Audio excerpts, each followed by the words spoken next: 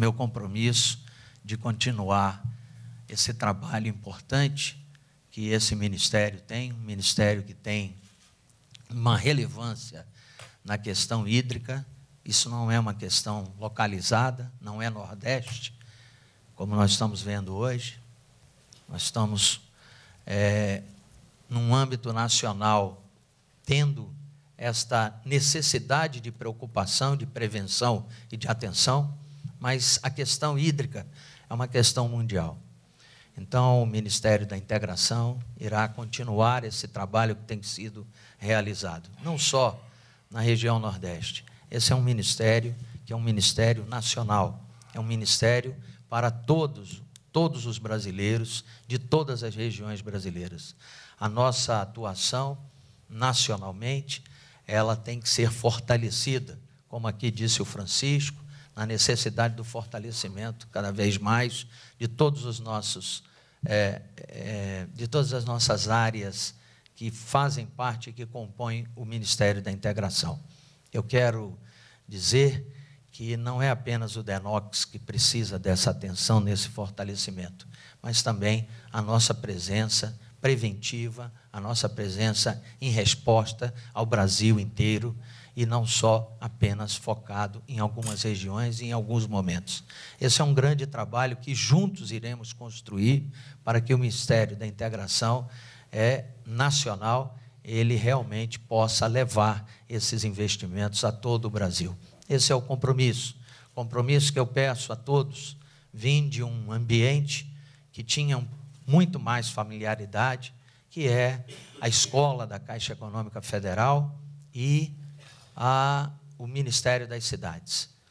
Porém, agora vejo, com o pouco tempo que venho conversando com a equipe do Ministério, com o Irani, que está aqui presente, com Francisco Teixeira, a relação importante que nós temos com tudo, toda aquela política do Ministério das Cidades, que nós tínhamos aqui uma relação muito boa com o ministro Francisco Teixeira. Então, eu tenho absoluta certeza que nós como diz o próprio nome do ministério, iremos fazer um trabalho de integração realmente com todas essas políticas públicas.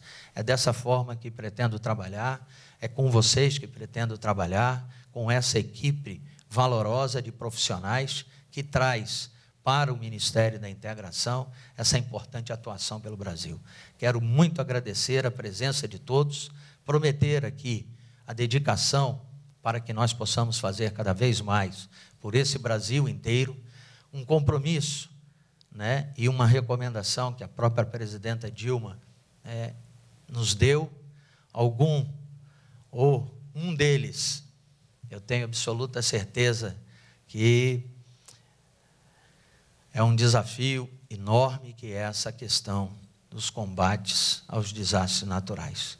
Dessa forma, continuaremos da mesma forma que o Ministério das Cidades tem e o Ministério da Integração tem, intercâmbio internacional para que nós possamos cada vez mais aprender e aprender não só a combater, mas também a conviver com essas intempéries que somos todos acostumados a trabalhar com elas.